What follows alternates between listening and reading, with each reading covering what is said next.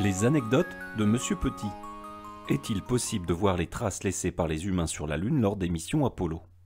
Dans le cadre du programme Apollo, les États-Unis ont envoyé six missions qui se sont posées sur la Lune entre 1969 et 1972. En tout, ce sont 12 humains qui ont foulé le sol de notre satellite naturel.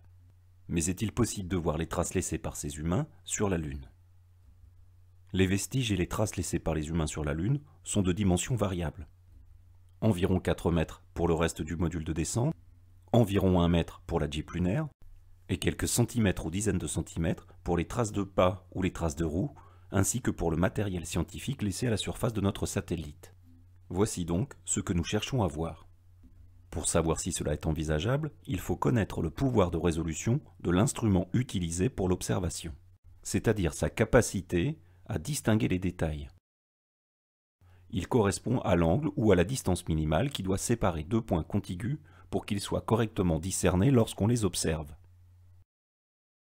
Prenons un exemple. Le pouvoir de résolution de votre œil vous permet de distinguer aisément les deux points qui sont à gauche de cet exemple. Mais votre œil ne résout que difficilement les deux points qui sont entourés dans le cercle rouge à droite.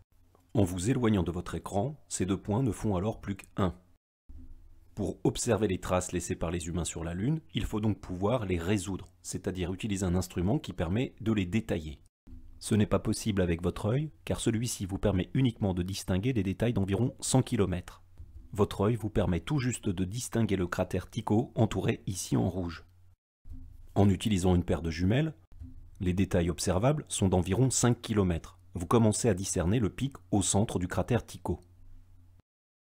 En utilisant à présent un petit télescope amateur, vous observez des détails d'environ 1,5 km. L'observation du pic central du cratère Tycho devient très sympathique, mais vous êtes encore bien loin de pouvoir observer les traces laissées par les humains sur la Lune. Imaginons à présent que vous puissiez utiliser les plus grands télescopes présents sur Terre. Ils ont un diamètre d'environ 10 mètres. Avec ce genre de télescope, vous pourriez observer des détails d'environ 25 mètres. C'est l'équivalent de deux bus scolaires placés l'un derrière l'autre. Vous pourriez observer le bloc rocheux qui se trouve en haut du pic central du cratère Tycho, mais toujours impossible d'observer les traces laissées par les humains sur la Lune. Pour observer ces traces, il faudrait pouvoir se rapprocher de la Lune. C'est ce qu'a réalisé la NASA en envoyant une sonde en orbite autour de notre satellite naturel. Cette sonde, nommée LRO, est en orbite basse et orbite à environ 50 km au-dessus de la surface de la Lune. Elle est équipée de divers instruments scientifiques parmi lesquels des systèmes imageurs haute définition qui permettent d'obtenir des images de la Lune avec une résolution de 0,5 m. Il devient alors possible d'observer des détails jusqu'à 50 cm. L'image du bloc rocheux se trouvant en haut du pic central du cratère Tycho devient alors époustouflante. Les détails sur cette image avoisinent les 50 cm. Avec ces instruments imageurs, les traces laissées par les humains sur la Lune sont alors nettement visibles. Voici le site d'Apollo 15. Nous pouvons y observer le reste du module d'atterrissage, les traces laissées par la Jeep lunaire et la Jeep lunaire elle-même, ainsi que tout le matériel scientifique déposé par les astronautes de la mission Apollo 15. Le plus petit détail observable ici correspond au panneau réflecteur qui mesure environ 1 mètre de long pour 60 cm de large. Il est utilisé actuellement pour mesurer avec précision la distance entre la Terre et la Lune.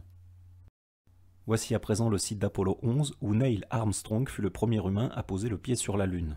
Les images réalisées par la sonde LRO nous permettent de voir les traces de ses pas jusqu'au cratère Little West, cratère situé à 54 mètres du module lunaire et qu'il a pris en photo.